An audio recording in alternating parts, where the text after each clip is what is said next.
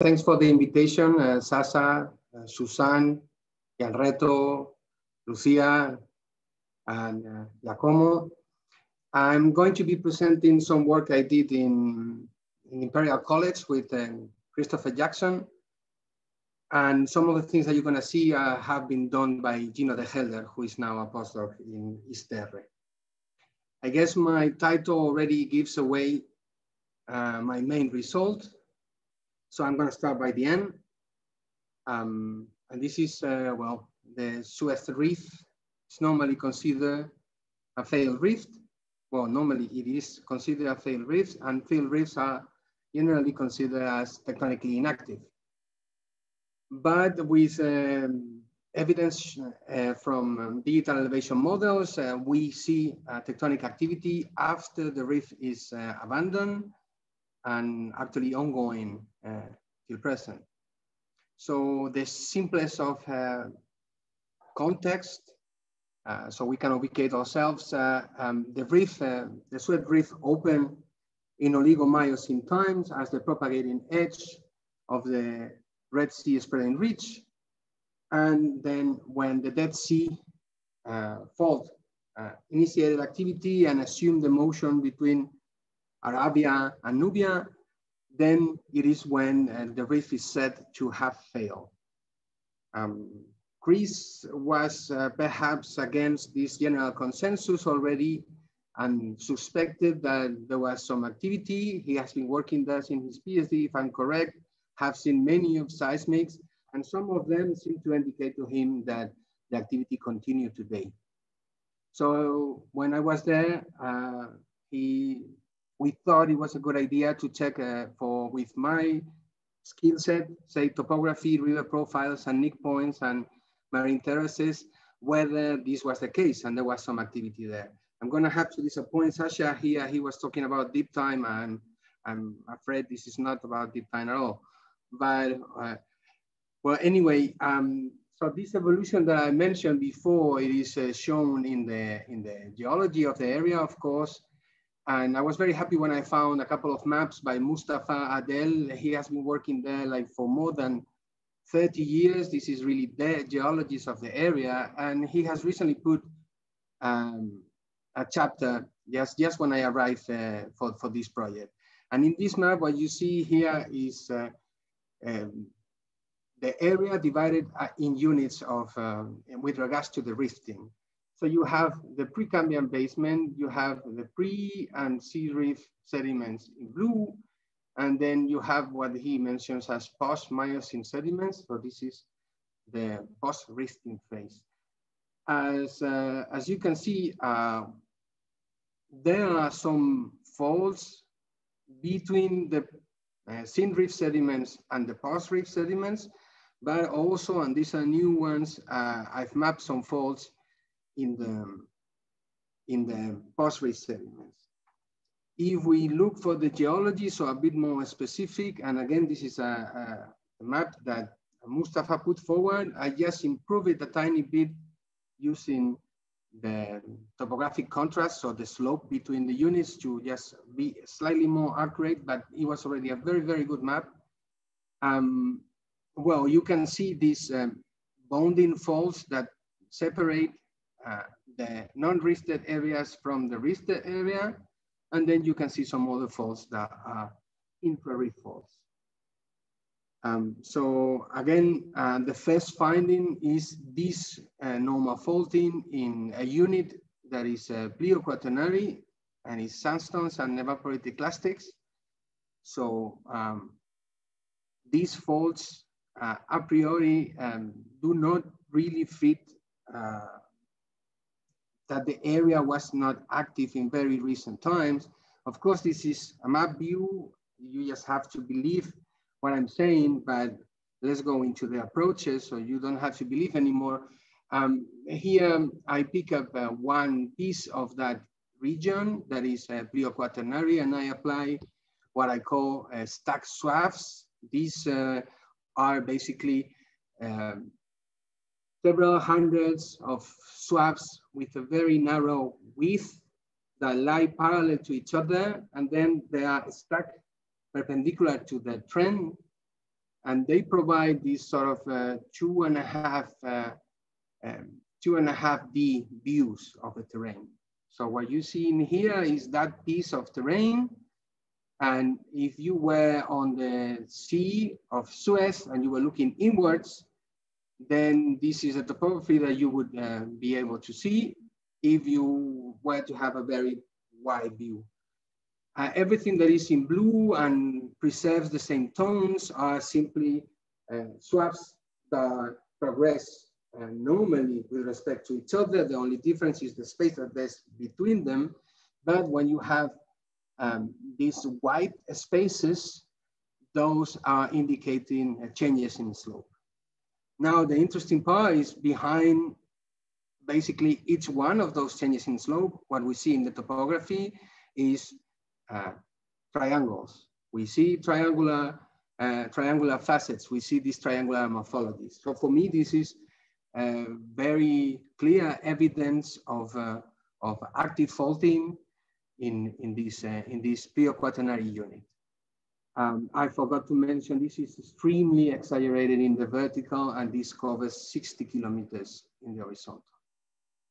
Um, now, if we go for another approach, that would be rivers or more specifically river profiles.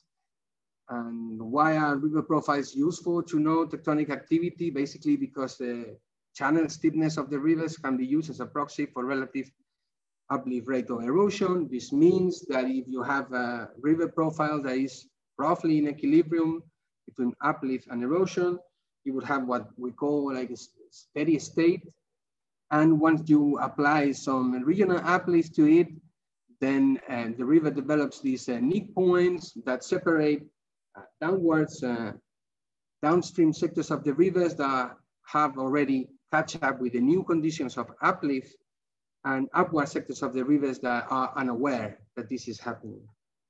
Um, uh, so these are very clear indications of, um, well, uh, tectonic activity and could be also sea level, sea level drop, so base level drop.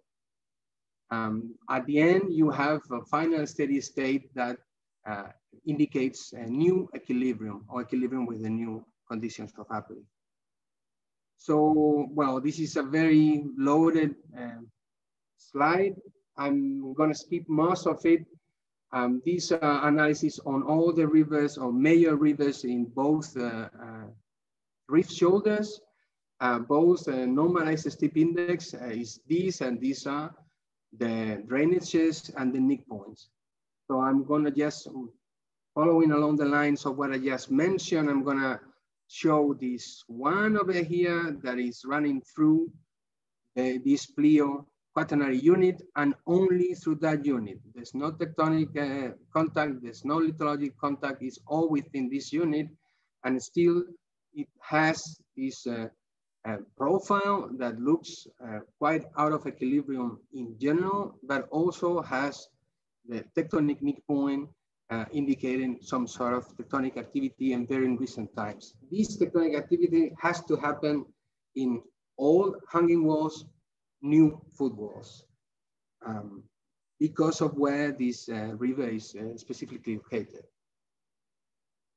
And then again, uh, well, the third approach is marine terraces. And well, marine terraces are paleo platforms that have a paleo sea cliff in the back. And between these two elements, uh, we have what we call the paleo shoreline angle. This paleo shoreline angle is relevant because it indicates the position of past coasts where you have uplift of terrains. So when you have that uplift of terrains in coasts, you develop this uh, morphology, this staircase type of morphology.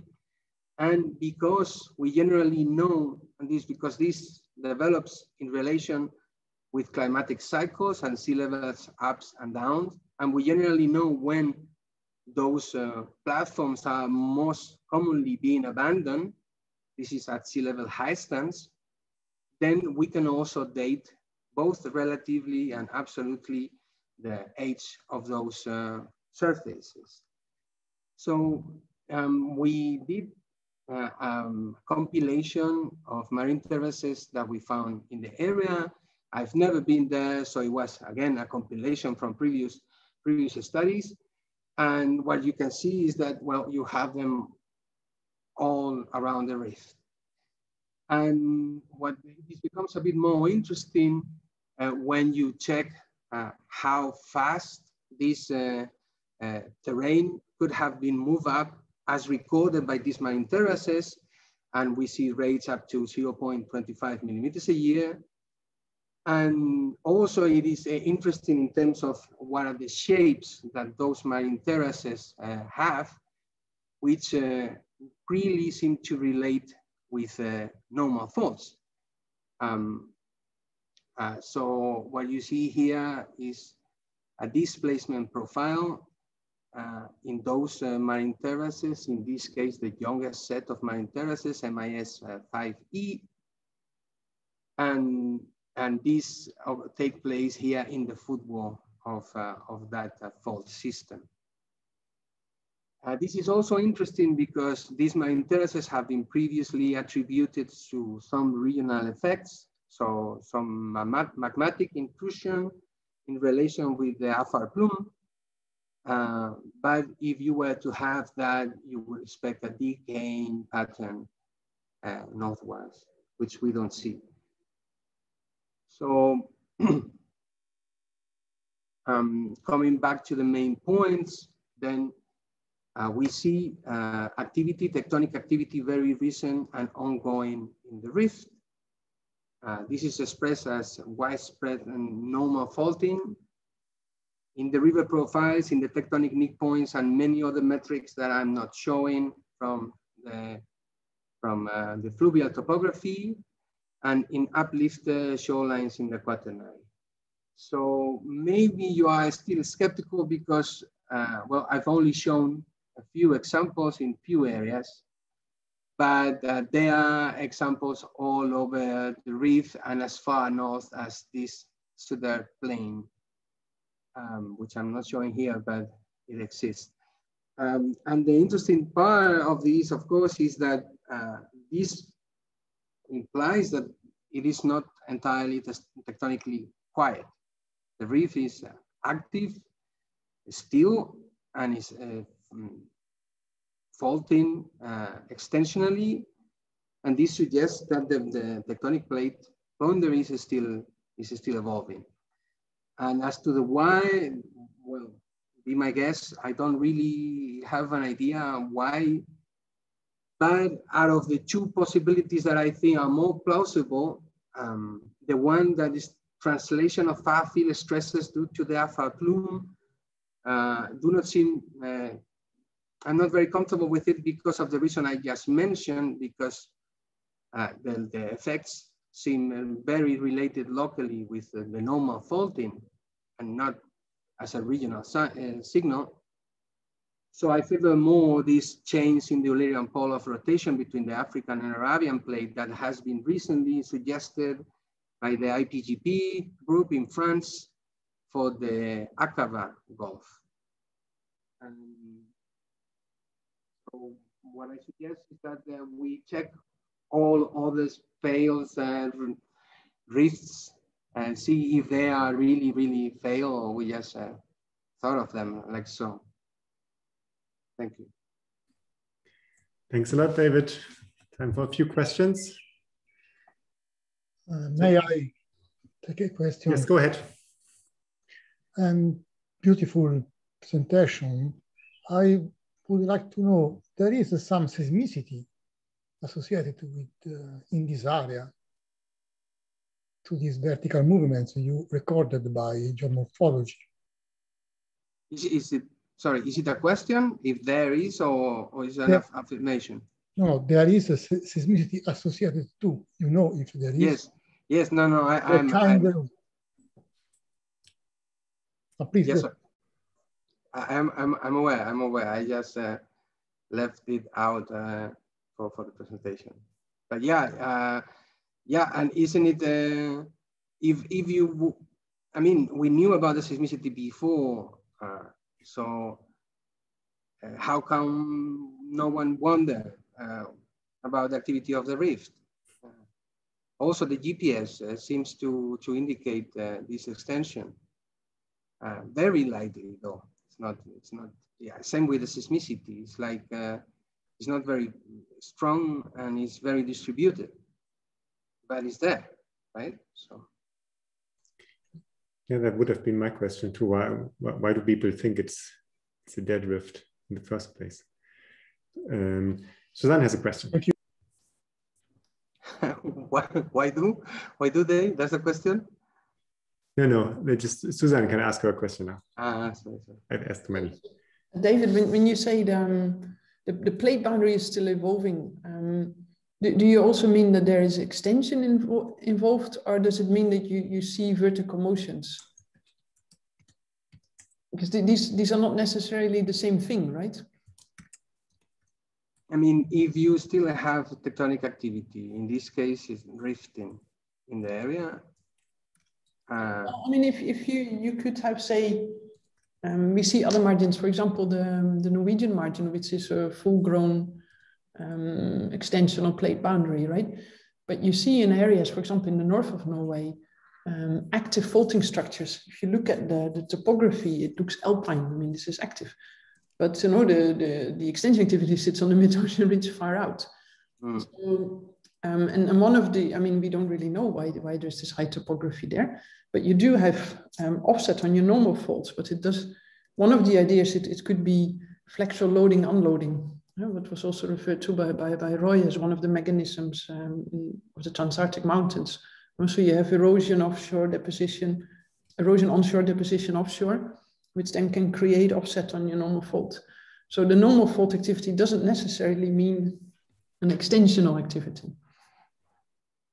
I see what you mean. Uh, it's a totally fair point.